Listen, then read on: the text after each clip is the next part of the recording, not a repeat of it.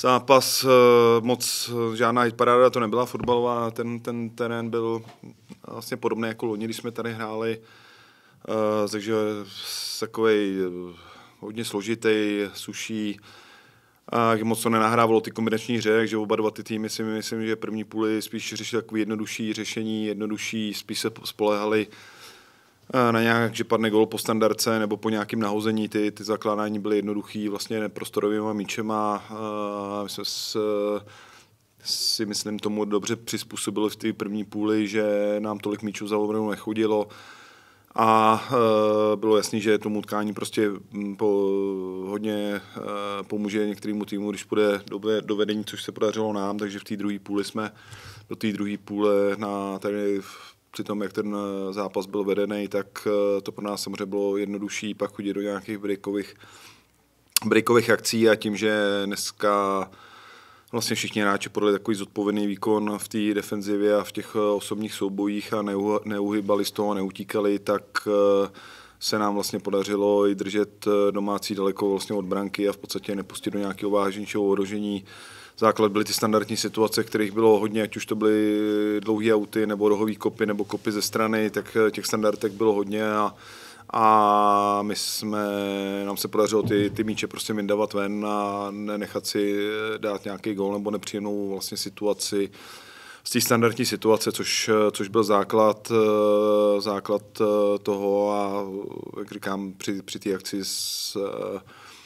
se nám podařila hezká akce, kdy, kdy jsme to dohráli až do konce, a, do konce a to krom toho týmového výkonu a té pracovitosti, která, bez který by se ten dnešní zápas neobešel, tak, tak byl vlastně rozhodující klíč k tomu, k tomu vítězství.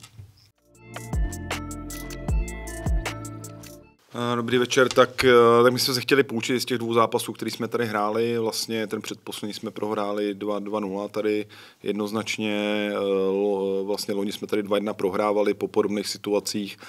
a pak se nám ten západ podařilo otáčet, ale nechtěli jsme se dostat prostě do té do do situace, takže uh, jsme zhruba očekávali, co, s jakým stylem prostě domácí budou hrát. Eh, trošku jsme očekávali to hřiště, což se potvrdilo pak při té prohlídce vlastně před, eh, před začátkem zápasu, takže eh,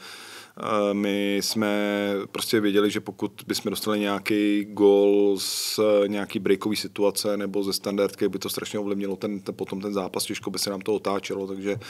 takže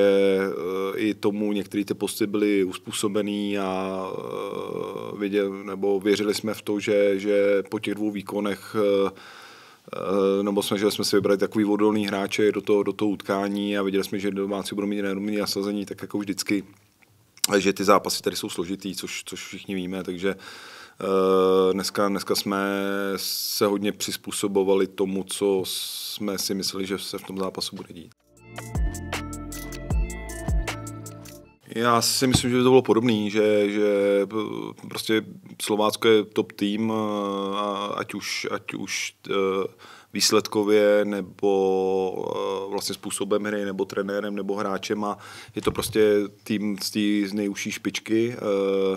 zápasy tady nejsou jednoduchý pro žádný tým, nejenom pro nás. Takže já si myslím, že ten náš styl hry nebo ten způsob hry by byl eh, hodně podobný, i kdyby jsme třeba ty dva zápasy předtím vyhráli, nebo, nebo že na tom se prostě nic neměnilo. Prostě znovu říkám, Slovácko je strašně nepříjemný v tom eh, dostupování, napadání, v tom, když ten zápas vede, tak jak, jak ono potřebuje, tak eh, je to strašně, strašně složitý s ním. A i ten první podzimní zápas, který jsme doma vyhráli,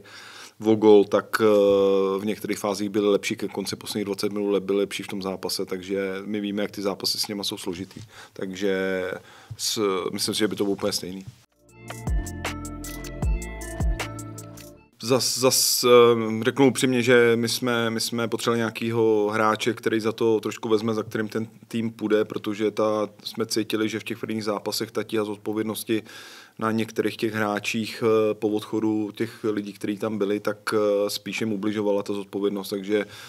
takže my jsme spolehali na to, že Standa je takový, jak je, že to je vůči typ, eh, že je jeden z kapitánů toho týmu, protože zbytek máme na Marce a za jsme věřili tomu, co se dneska stalo, že ten tým prostě za ním půjde na hřišti, za druhý, že on ho bude prostě organizovat. I proto jsme ho na tom konci nestřídali, se to samozřejmě nabízelo, že bychom tím střídáním zvýšili tu, tu vejšku ale prostě Standa je hráč, který ho na hřišti všichni prostě poslechnou a bylo to vidět i u, těch, u to dohrávání toho zápasu, takže ta jeho mentalita, eh, to jeho nastavení, to jedno jeho jako vlastně obětování se pro výsledek a pro tým je prostě nakažlivý pro všechny což dneska splnil a myslím si, že k tomu, k tomu i předl docela slušný výkon, bude na to, kolik absolvoval vlastně soubojů, ať už běžeckých nebo, nebo s Daníčkem a s, a s Kadlecem, tak v podstatě v té kvalitě vydržel vlastně až do 95. minuty, což co vždycky u toho útočníka je slovo jako složitý, takže on splnil přesně to, co jsme chtěli, ať už mentálně nebo, nebo fotbalově. To, spíš to za, za, za prvý to byla znouzecnost trošku, uh,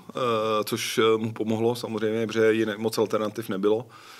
Teď už jsem připravoval uh, po zápase některé kluky na Fenerbahče, protože Alex Bach je taky vykartovaný, takže už jsem tam uh, dva, dva lidi upozorňoval, ať se taky připraví na pravýho beka ve čtvrtek, takže u, u, něj, u něj to byla znouzecnost uh, z jedné v, v jedné fázi a v druhé fázi jsme mu prostě věřili, my jsme ho chtěli od zemi už a je to prostě levonohý hráč. Uh, jediný, čemu jsme se přizpůsobili, bylo v té stoperské dvojci, že, že proto jsme zatahovali ho, vlastně ho dolů, tak aby, aby nechtěli jsme mít dva debutanty tady vlastně v, obraně vedle sebe, takže u Juryho jsme si byli z hned od začátku i tím nastavením, ze kterým on přišel a, a, a myslím, že on zrovna působí eh, za ty tři dny, jako když je tady tři měsíce pomalu, takže sebevědomí mu nechybí, rozhodně to zdraví. A e, další věc prostě byla, že jsme věděli, že budeme potřebovat takovou tu jeho, tu jeho takovou i zarputilost, kterou on má, a to, ty osobní souboje, tu fotbalovou kvalitu, takže Eh, čím dřív se zapojí, tím líp. Eh, a znovu říkám, nabízelo se to, chtěli jsme ho, takže, takže aspoň máme materiál, videomateriál, jak s ním pracovat, takže to pro něj, pro něj samozřejmě je, je i dobrý, že ten tým mu pomohl, že kdy třeba kdyby nastoupil v jiném utkání i v těch předchozích, kde, kde tak eh, zodpovědně jsme nehráli, tak by se třeba dostával do horších situací, než se dneska, než se dneska dostal. Uh, Lukáš měl problém vlastně na stehenním svalu, uh, prošel rezonancí, která je čistá.